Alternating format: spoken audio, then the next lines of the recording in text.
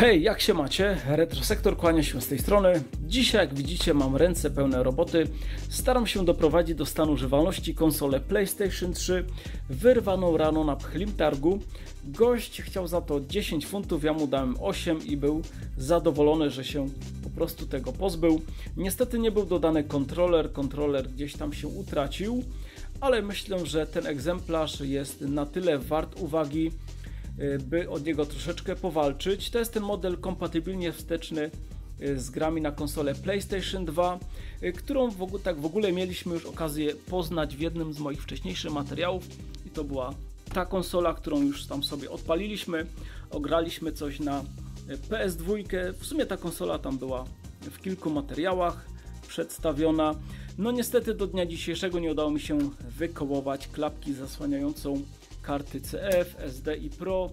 Bardzo trudno znaleźć tą klapkę, nigdzie nie ma tego ani na eBayu, ani na Allegro, ale mniejsza o to, ten sprzęcik wciąż na chodzie, fajnie sobie śmiga.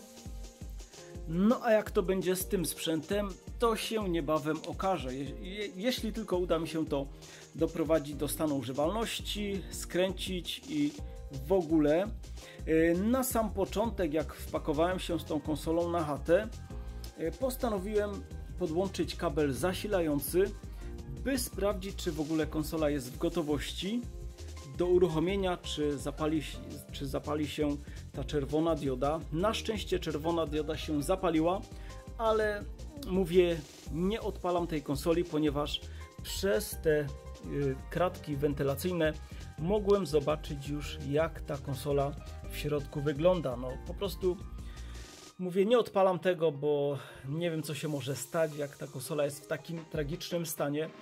Y, może lepiej będzie to po prostu doprowadzić do stanu używalności. Nigdy wcześniej nie miałem jeszcze okazji rozkręcić konsoli PlayStation 3, tak więc to jest mój pierwszy raz. W sumie rozkręcenie poszło gładko. Nie wiem jeszcze jak to będzie ze złożeniem tego z powrotem w jedną całość, ale to się okaże. Y, ten górny panel jest też troszeczkę już e, w opłakanym stanie. Jest porysany, tu coś się przysmażyło i jest odkształcenie. Możecie to zobaczyć o, w tym momencie.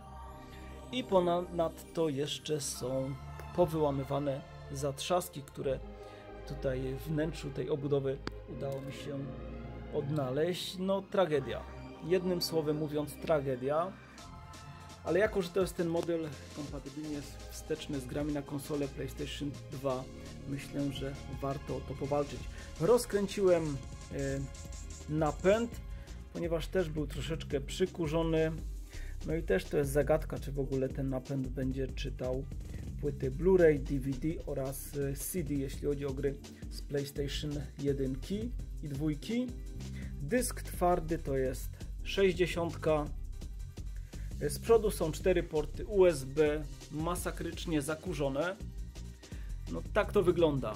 Tak to wygląda i mówię Wam, że naprawdę bałem się tego. Bałem się po prostu tą konsolę odpalić. No zobaczcie, tu jest płytka z układami. Strasznie to wygląda. Paskudnie to wygląda. Więc podejrzewam, że to była najlepsza opcja. Po prostu jeśli chodzi o podejście do tego sprzętu. E, zaraz wykręcę ten wentylator, mam nadzieję, że da się go wykręcić, wyciągnąć i również wyczyścić. No a tak poza tym co? Obudowy lecą do kąpieli, z tym raczej nie będzie żadnych problemów. Problem może być już bardziej ze złożeniem tego w jedną całość, ale jak coś to wesprę się jakimś poradnikiem na YouTube. E, nie wiem, czy to jest zasilacz jakiś, czy coś. Prawdopodobnie zasilacz. No to było w miarę w dobrym stanie, niezakurzone, czyściutkie jakimś cudem, no ale reszta to jest jakaś masakra. Tu po prostu się zrobił filtr z tego kurzu. No i nie wiem w ogóle jak ta konsola miałaby oddychać. Dobra, my widzimy się za momencik, jak już doprowadzę tę konsolę do stanu używalności. Yy, uruchomimy ją i zobaczymy, czy w ogóle konsola jest na chodzie i czy da się odpalić jakieś gry.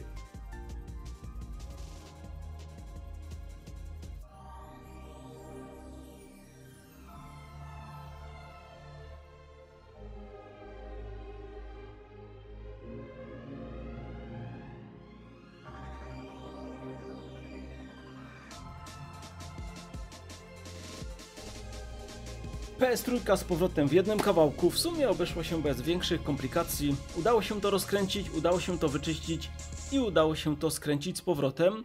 E, w sumie człowiek jest bogatszy o nowe doświadczenie i na pewno to się w przyszłości przyda. Niestety nie jestem w stanie nic zrobić z tą górną pokrywą. Tak wcześniej mówiłem, tutaj w środku wszystko jest wyłamane przez poprzedniego właściciela i również były wyłamane e, zaczepy wewnętrzne, jeśli chodzi o e, tę część przodu obudowy. Stąd też, jak możecie zobaczyć, troszeczkę to odstaje i nie jest to idealnie dociśnięte, ale zobaczymy, czy w ogóle będę mógł korzystać tutaj z tych dwóch przycisków. E, może na początek po prostu zrobię to, co zrobiłem po powrocie do domu z tą konsolą. Podłączę kabel zasilający. Zobaczymy, czy ta czerwona dioda nam się zapali. Dobra, jesteśmy w punkcie wyjścia. Tak jak było przed rozkręceniem, tak jest nadal.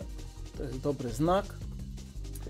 No, e, może z czasem będzie warto tutaj wymienić tą pastę termoprzewodzącą i też jeszcze nie miałem w ogóle okazji, czasu ani chęci, by zająć się tą moją PS3.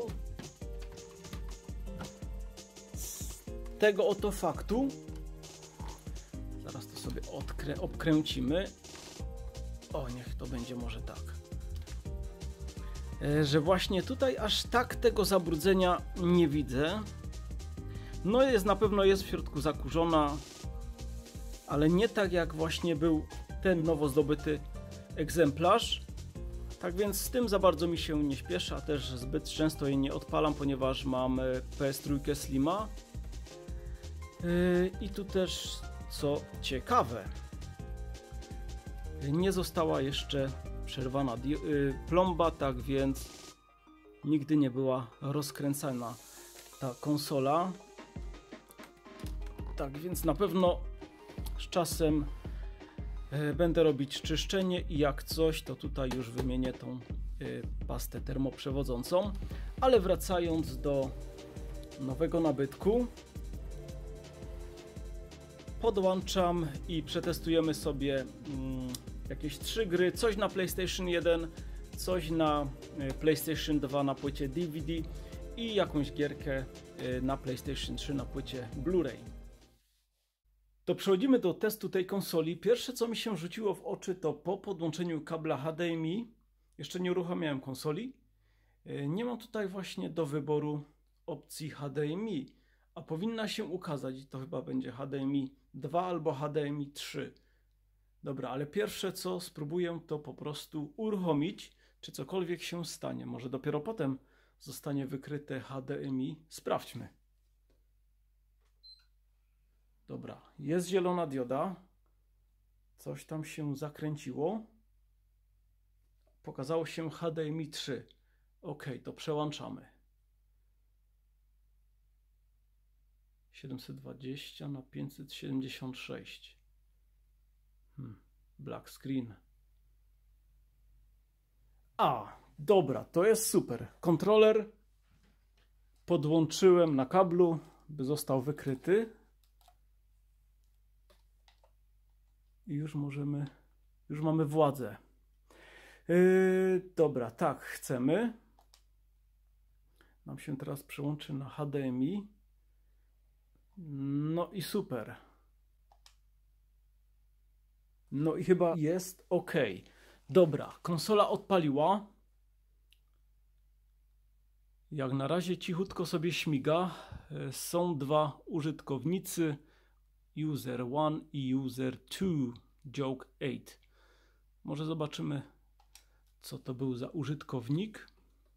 I tak to od razu na pewno będzie trzeba sformatować dysk. Zobaczmy tylko może co on tutaj ma. DC Universe Online. Dobra, nie będę tu w niczym za bardzo grzebać. E, co my tu sobie sprawdzimy? Może sprawdzimy sobie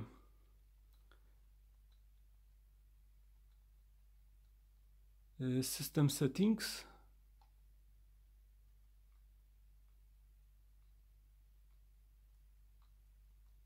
I System Information. 55 GB. No troszeczkę mało jest tutaj wolnego miejsca, więc formacik jak najbardziej się przyda. To sobie później zrobię. A co tu jeszcze jest? Game Settings. To to może będzie warto włączyć. O, PS, PS2 Upscaler. To tu sobie damy, a niech będzie full screen. Change. Jeszcze to wygładzanie, nie? OK. A już się sprzęcik rozkręcił. I tu damy on. Ok, sprawa wygląda na razie, wszystko jest w porządku, ale przekonajmy się, czy w ogóle odpala to jakieś gry. E, mam płytkę z grą Lego Batman. Nie mam pudełka, nie mam instrukcji, samą płytkę, tak więc jak coś się z tym stanie, e, to będzie mała strata.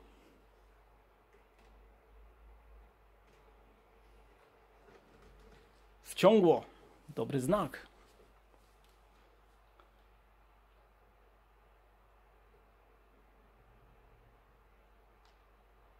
I wyczaiło?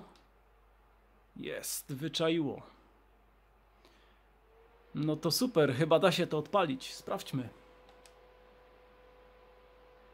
Ale coś jest cichutko. A tu mam wyciszone. Ok. No, rozhuczała się teraz ta konsola.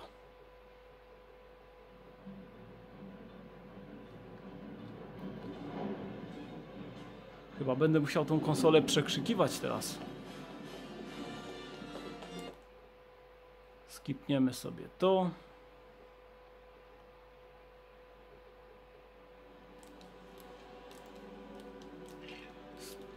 Wystartujemy, zobaczymy czy mamy pełną władzę nad kontrolerem. Ale wydaje mi się, że wszystko jest ok. Można to skipnąć, można. No tak na dziko dzisiaj to sobie wszystko tutaj robimy. Ale się rozhuczała. No to jest jazda. E, tak na dziko mówię, nie podłączam żadnego e, ten e, grabera, żadnego przechwytywania wideo. Tak, to się na szybko tylko sprawdzi. Skip i co? Wypadałoby tutaj troszeczkę pośmigać. No, chyba jest ok. Mamy sterowanie. Przyciski, wszystko działa. To odpalimy sobie zaraz drugą grę na PlayStation 2 i to będzie już y, Grand Theft Auto Vice City. To jest y, ta płytka, którą mówiłem, że warto będzie przetestować, ponieważ jest trochę rys i ta płytka jest do rozdania. Y, gra dla widza, tak więc jak to będzie śmigać, ta płytka wraz z dwoma plakatami, tu jest plakat właśnie z Vice City oraz z Canisa, będzie można to sobie wylosować. Wystarczy się zgłosić pod y, odpowiednim filmem. No i tyle. Zobaczmy, czy teraz odpali się gra z PlayStation 2.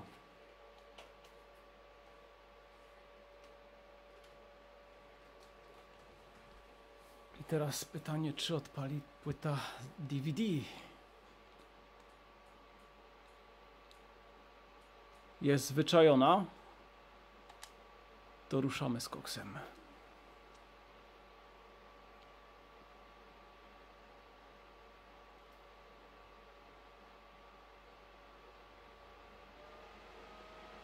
No nie, no normalnie to chodzi głośniej niż mój odkurzacz.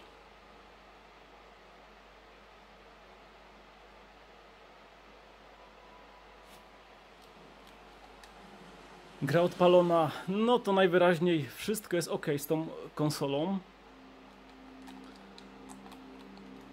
Jak pali gry. No a może tutaj pomoże, może pomoże właśnie wymiana tej pasty y, termoprzewodzącej. Ta wentylacja będzie troszeczkę ciszej chodzić. Odpalamy grę na komodorku.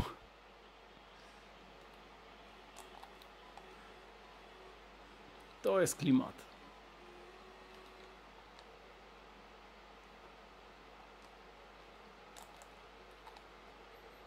A ostatnią grę, którą sobie odpalimy, już to będzie gra na PlayStation 1. Chwilę sobie zagramy. Będzie to Overboard, y, który podesłał mi Axel z retroarchiwizacji. Za co wielkie dzięki. W końcu będę miał okazję w to sobie zagrać.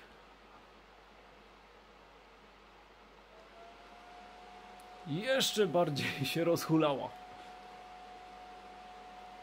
Ciekawe, czy w ogóle będzie słychać jakieś moje pomrukiwanie, czy, czy po prostu tylko szum tej konsoli.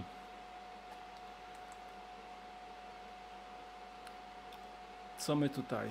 My tutaj troszeczkę pobujamy się po mieście.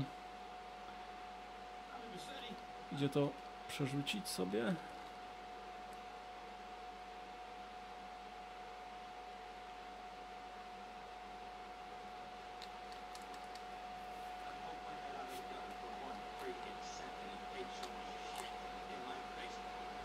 W ogóle nie słyszę, co tu się dzieje. Jeszcze tak głośno nie miałem telewizora.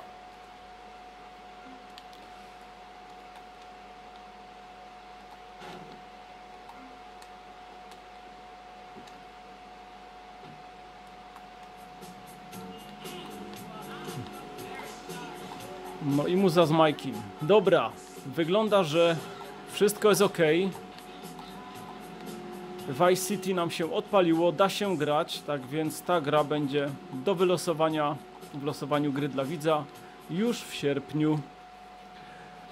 A my w tym momencie przechodzimy sobie już do odpalenia ostatniej gry, jaką jest Overboard. Rozjaśniłem trochę to pomieszczenie, ponieważ w momencie strasznie ciemno się zrobiło na dworze. My lecimy z Overboardem. Zobaczmy jak ta gra się postarzała. No straszną mam chęć, by w to sobie zagrać, a jeszcze nie miałem okazji. Wyczai nam tą płytkę? Powinno raczej. Jest. No to ruszamy z koksem. Czarna płyta. Overboard. To ogrywałem na demówce, która była dołączona do y, konsoli PlayStation 1 w 98 roku jak sobie nabyłem mojego pierwszego szaraczka. Tam było jakieś e, demo. Troszeczkę dało się w to pograć, ale naprawdę nie pamiętam w ogóle. Wiem tylko, że ta gra bardzo mi się podobała i nigdy pełna wersja do mnie nie zawitała. No mam nadzieję, że gra dalej będzie w moim guście. Psygnosis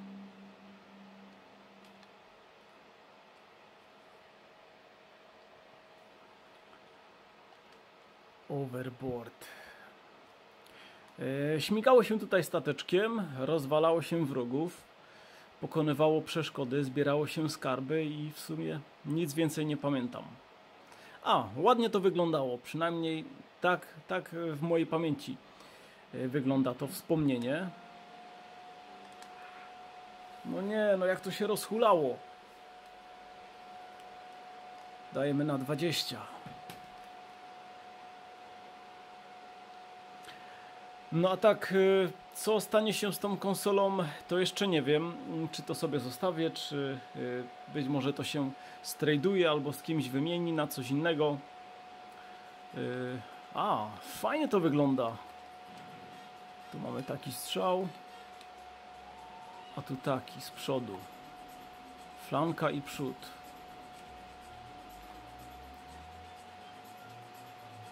Ok, a więc to jest nasza zatoczka. Wypływamy na głębokie wody.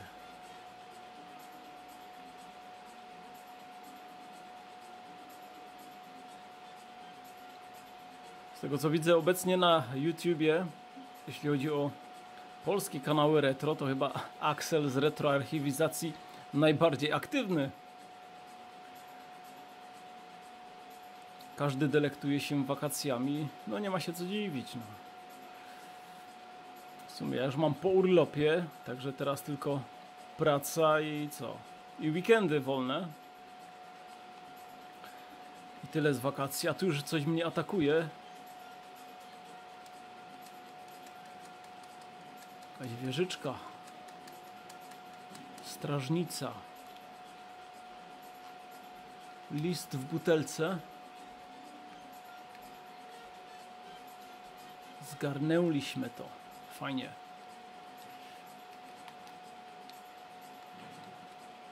Mhm, Z tej strony.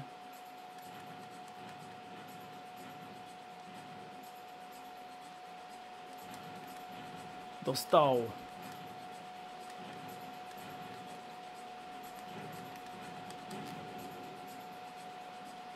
No i po nim jest jakaś boja albo mina. Zaryzykujmy. Chyba, że musimy w to strzelić. O, teraz pasuje. No, fajnie to wygląda. Troszeczkę taka pikseloza. Rzuca się w oczy. Ale bardzo przyjemnie się w to gra. A tu sobie chyba zarzucimy naszą flagę. Albo i nie.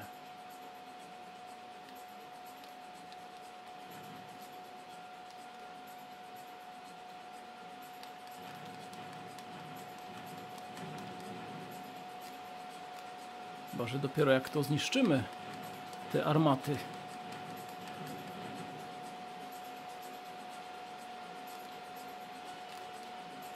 Energia i, ska i ten.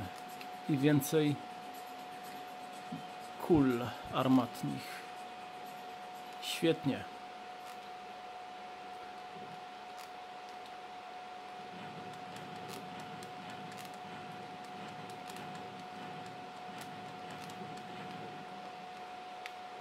Jeden na dno.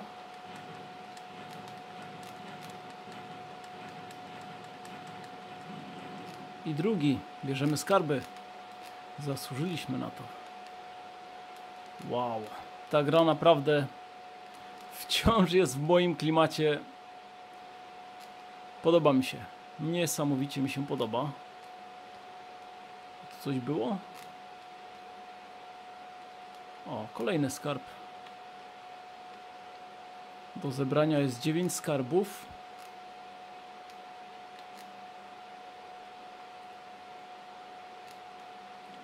Tu jakaś piła. Uf. Tu jest przejście tajemne. Skarb.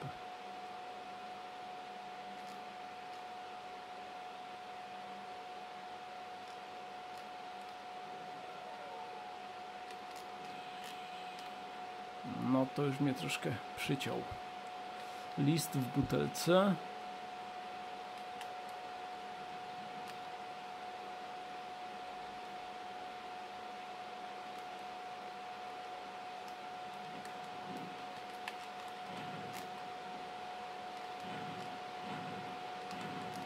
Walczymy.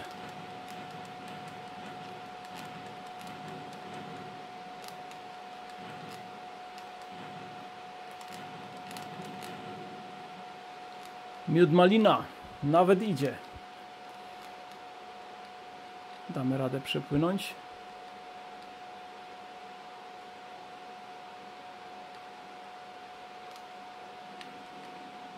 I już się fajczymy. Tam jest energia.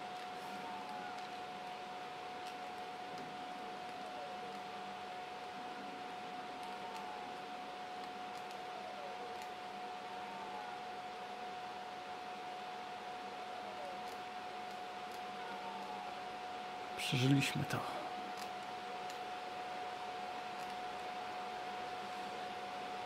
Płyniemy dalej. Może uda nam się ukończyć ten etap.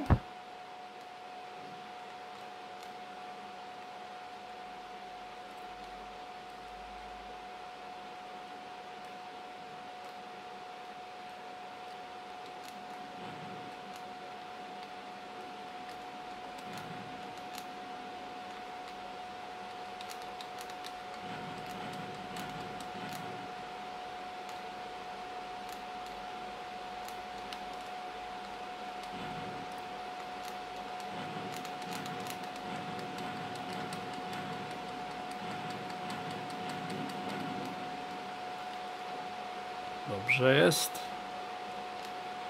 A tego oleję.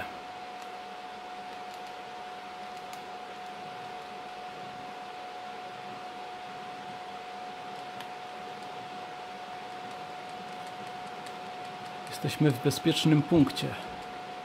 Tam ktoś stracił gościa. I to ilu?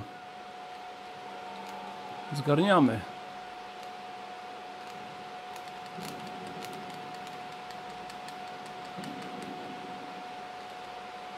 Bardzo fajnie. Bardzo dobrze idzie. Za słaby zasięg jeszcze.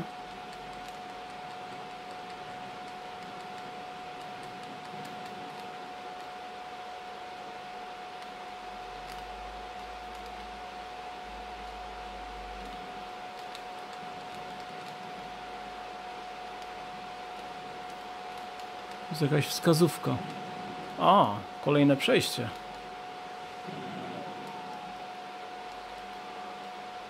Dodatkowe życie. Uzupełnienie energii. I płyniemy dalej. Ale nie chce nas przepuścić. No to nie wiadomo co jest grane. Jest nasza flaga? A, teraz. Zdobyliśmy ten port.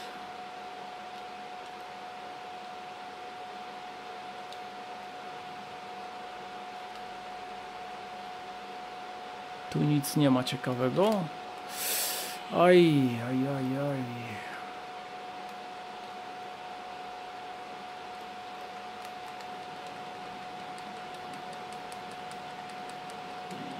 Tam coś jest. Tam coś mi się skrywa. Jeden skarb.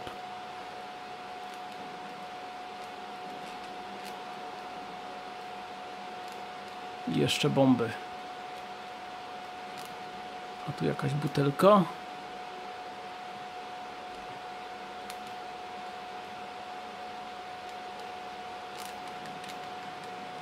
Kolejne starcie.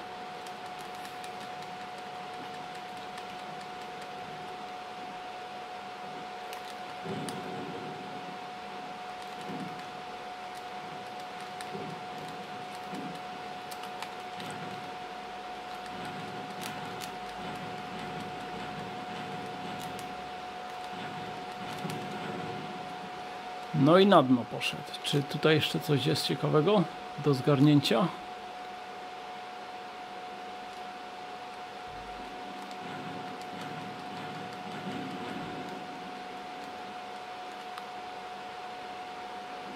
E, Zdobędziemy teraz dziewiąty skarb.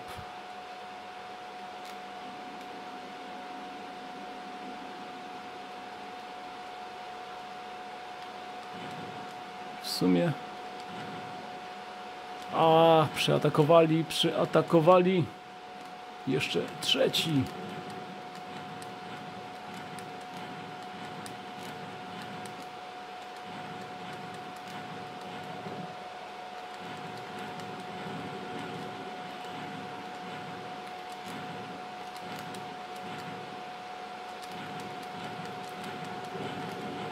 No i na dno. Ok, chyba ukończyliśmy ten poziom. Fajne, bardzo fajna gra.